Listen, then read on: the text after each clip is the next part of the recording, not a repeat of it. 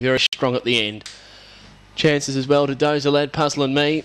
Both generally show pretty good speed. And, and Puzzle and Me, she's got terrific early speed. And look, at the $6, I think it's a huge each way chance here. Moving in, really good value in fact. All in now, green light, race 11. They're set, ready. Racing, Soldier Spy slow with Puzzle and Me. They bump hard and out to last dozer Tron and going out fast. Precious Prize over to lead. Puzzle and Me gets up on the inside. Soldier Spy comes down the outside over G. Kellen, Southwood Ellis, Kalara Tapine and Dozer Lad taking the lead. Precious Prize grab the fence. Puzzle and Me and late Soldier Spy, but Puzzle and Me I'd say gets there. Might be Puzzle and Me just over Soldier Spy.